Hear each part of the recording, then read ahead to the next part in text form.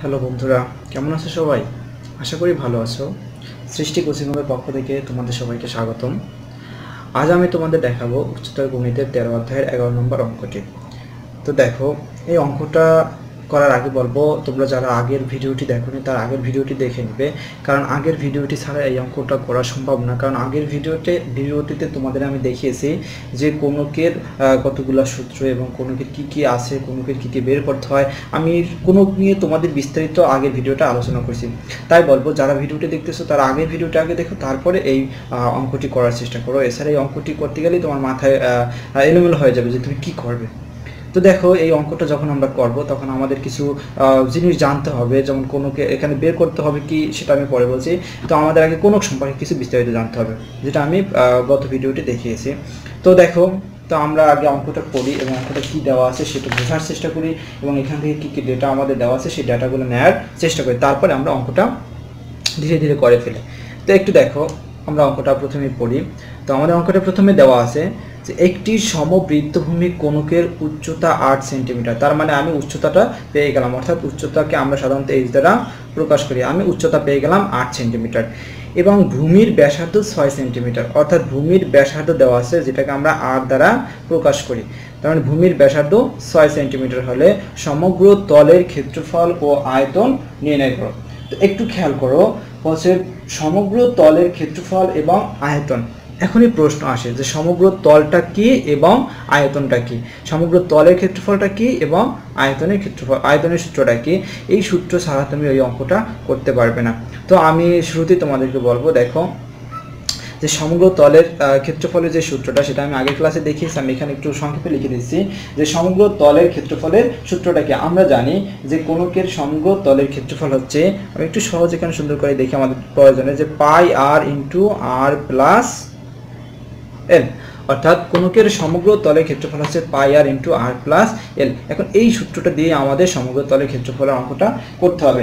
আর হচ্ছে কোনকের আয়তন। কোনকের আয়তনের সূত্রটা কি দেখছিলাম আমরা? One by three pi r square S অর্থাৎ ওয়ান বাই থ্রি ভূমির ক্ষেত্রফল ইন্টু উচ্চতা, এটা ছিল আমাদের কোনকের আয়তনের সূত্র। অর্থাৎ এই দুইটা সূত্র আমাদের এখন কাজে লাগবে। কি কি পাই r into r plus L এবং হচ্ছে one by three pi r square H এখন দেখো, আমরা যখন কোনকের সমগ্র তলের ক্ষেত্রফলটা বের করব, তখন আমাদের কি কি মান লাগতেছে? আমরা জানি পাই একটা ধ্রুবক মান। আর এর মান আমাদের এখানে দেয়া আছে ব্যাসার্ধ সিক্স সেন্টিমিটার তো আর এর মান আছে আমাদের এল এর মানটা। দেখো এল এর মানটা এখানে কি? এল কি এখানে আছে আমাদের? নাই। তাহলে এলটা কি? আমি আগেই বলেছিলাম যে আমাদের এরকমের এল এর মানটা আগে বের করে নিতে হবে। আমরা জানি না এল এর মান কত। তাহলে এল এর মান বের করার জন্য আমাদের একটা সূত্র আছে। সেই সূত্রটা আমি তোমাদেরকে বলেছিলাম যে এল সমান সমান কি? Root over S square plus r square আর এলটা কি? এলটা হচ্ছে কোনকের হেলানো উচ্চতা। ওকে তাহলে আমরা যে ডেটাগুলো আমার দেয়া আছে, ওইগুলো লিখে তারপর এলের মানটা আগে একটু বের করে নিই। তাহলে আমরা দেখো শুরুতে কি লিখব? যে দেওয়া আছে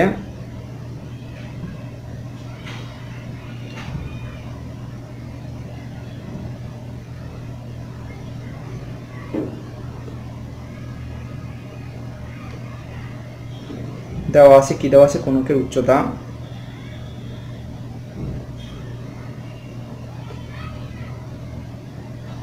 উচ্চতাকে এইচ দ্বারা প্রকাশ করা হয় সমান সমান এইট সেন্টিমিটার কণিকের উচ্চতা এইট সেন্টিমিটার আর কি দেওয়া আছে আর দেওয়া আছে ভূমির ব্যাসার্ধ। ভূমির ব্যাসার্ধ আর ইকুয়াল টু কত? সিক্স সেন্টিমিটার আমাদের এই দুইটা দেওয়া আছে। এখন আমাদের দরকার কি হেলানো উচ্চতা? তাহলে আমরা এখন কি লিখব? অতএব হেলানো উচ্চতা। আমাদের হেলান উচ্চতা বের করতে বলেনি, কিন্তু আমাদের ক্ষেত্রফল নির্ণয় করার জন্য আমাদের এই হেলান উচ্চতাটা দরকার। তাই আমরা হেলান উচ্চতাটা নির্ণয় করে নেব। হেলান উচ্চতাটা কি? এল সমান সমান root over H square plus r square আমাদের হাতে এইচ এর মানও আছে আর এর মানও আছে। তাই দেখো এইচ এর মান কত? এইট তার মানে এইট স্কোয়ার প্লাস আর এর মান হচ্ছে সিক্স স্কোয়ার তার মানে কত আসে? Sixty four plus thirty six অর্থাৎ root over hundred root over hundred মানে কত? টেন অর্থাৎ হেলান উচ্চতা হচ্ছে টেন সেন্টিমিটার তার মানে আমরা এখন দেখো, আমরা নির্ণয় করব ক্ষেত্রফল, যেখানে আমাদের পায়ের মান ধ্রুবক আর এর মান আমাদের জানা আছে। এল এর তো জানা ছিল না, আমরা এখন বের করে নিলাম। এল এর মান হচ্ছে দশ সেন্টিমিটার। তাহলে এখন বলো, ক্ষেত্রফল আমাদের নির্ণয় করার কোনো সমস্যা? অফকোর্স না। তাহলে আমরা ক্ষেত্রফলটা কি লিখব? অতএব সমগ্র তলের ক্ষেত্রফল। কোনকের সমগ্র তলের ক্ষেত্রফল। তাহলে ক্ষেত্রফলের সূত্রটা কি? একটু আগে আমি তোমাদের লিখে দিচ্ছি দেখো, pi r into r plus L তাহলে আমরা এখানে লিখতে পারি যে পাই r into r plus L এত বর্গ সেন্টিমিটার সরি বর্গ একক হবে। এত বর্গ একক ইকুয়াল টু পাই এর মান কত? Three point one four one six into r এর মান কত? Six into six plus L এর মান কত? টেন এত এখন লাগবো আমরা বর্গ সেন্টিমিটার। ওকে, এরপরে দেখো, এখন যদি আমরা গুণ করি, তাহলে কত আসে? Three point one four one six into six into ছয়, আর দশ আর ছয় ষোলো। এত বর্গ সেন্টিমিটার। তো দেখো টোটাল যদি আমরা গুণ করি টোটাল গুণ করলে কত আসে?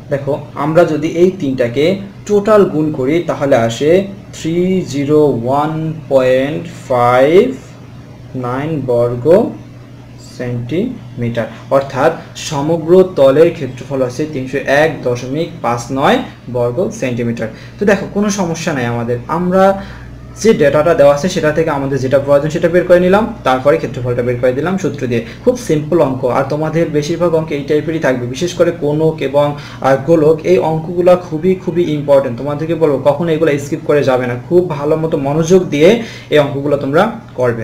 ঠিক আছে? কখনো এই অঙ্কগুলো মিস করবে না। ওকে তো দেখো আর যদি তোমাদের বুঝতে সমস্যা হয়, অবশ্যই অবশ্যই কমেন্টস করবে। আমি কমেন্টসের অ্যান্সার দিব, তোমাদের সমস্যা আমি সমাধান করে দেবো ইনশাল্লাহ তো দেখো, এরপরে আমাদের পরবর্তী ধাপটা কি? পরবর্তী ধাপ আমাদের ক্ষেত্রফল শেষ। আমরা ক্ষেত্রফল পেয়ে গেলাম কত? তিনশো এক দশমিক ফাইভ অর্থাৎ আমরা সমগ্র তলে ক্ষেত্রফলটা নির্ণয় করে ফেললাম। এখন আমাদের কী বের করতে হবে? দেখো, এখন আমাদের বলছে যে আয়তন কত? তাহলে এখন আমরা আয়তন নির্ণয় করব। আমাদের ক্ষেত্রফলের মান পেয়ে গেছি আমরা তিনশো এক দশমিক ফাইভ নাইন তাহলে এখন আয়তনটা আমরা বের করি। তাহলে কি লিখব?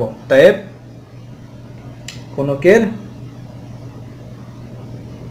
আয়তন।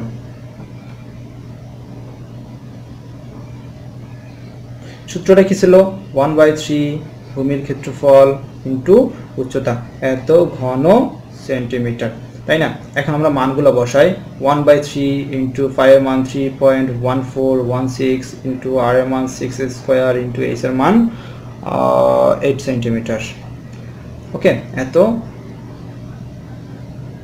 ঘন সেন্টিমিটার এখন দেখো, যদি আমরা টোটাল গুণ করি, অর্থাৎ এই three point one four one six into six square into eight এই টোটালগুলো গুণ করে তিন দ্বারা ভাগ দেই, তাহলে আমাদের রেজাল্ট আসে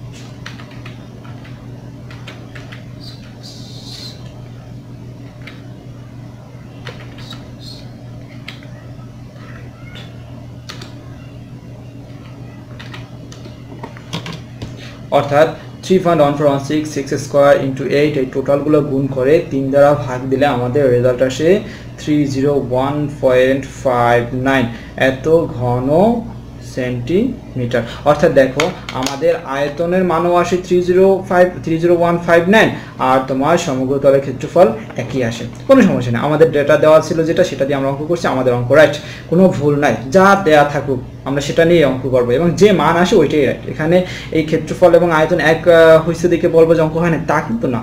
ডেটা দেওয়া ছিল, আমরা অঙ্কগুলো করছি, আমাদের অঙ্ক রাইট কোনো ভুল নেই আমাদের অঙ্কে, ঠিক আছে? তো দেখো, একই মান, কিন্তু একটু সমস্যা হচ্ছে, এখানে তোমরা বর্গ লিখবা আর এখানে অবশ্যই ঘন সেন্টিমিটার দেবে। তা না হলে তোমাদের অঙ্কটা এই একক যদি তোমরা না লিখো, তাহলে তোমাদের অঙ্কে এক মার্কস কেটে দিবে। সো তোমরা কেন এক মার্কস কম পাবে? কখনোই এক মার্কস কম নেবে না, সবসময় বেশি নেওয়ার চেষ্টা করবে। তাই কি করবে তোমরা? এককগুলো পরিপূর্ণরূপে লিখে নেবে। আর তোমাদেরকে বলব, বন্ধুরা, তোমরা যদি ভালোভাবে অঙ্ক করতে চাও, ভালোভাবে অঙ্ক বুঝতে চাও, অবশ্যই অবশ্যই লাইক কমেন্টস করবে। আমার লাইকের দরকার নেই, তোমরা কমেন্টস করো যে হ্যাঁ তোমার এটা দরকার, তুমি এটা বুঝতে পারো নি আমি চেষ্টা করব তোমাদের সেগুলো সুন্দর করে বুঝিয়ে দেওয়ার জন্য। আমার যতটুকু সম্ভব আমি চেষ্টা করব তোমাদের ভালো মতো বুঝিয়ে দেওয়ার জন্য। আর তোমরা যদি কমেন্টস করে কিছু না জানো, আমি কিন্তু বুঝতে পারব না যে, আমার ভিডিওগুলো তোমরা বুঝতে পারতেছো কি না বা তোমাদের কোনো সমস্যা আছে কি না বা তোমাদের কোন চ্যাপ্টারের ভিডিও দরকার, অবশ্যই তোমরা এগুলো আমাকে কমেন্টস করে জানাবে। আর হ্যাঁ যেটা বলব, যদি ভিডিওটি ভালো লাগে, অবশ্যই অবশ্যই তোমরা ভিডিওটি শেয়ার করবে। এবং সবশেষে যেটা বলব, অবশ্যই অবশ্যই সাবস্ক্রাইব করতে ভুলবে না। ভালো থাকো সবাই, দেখা হবে পরবর্তী ভিডিওতে।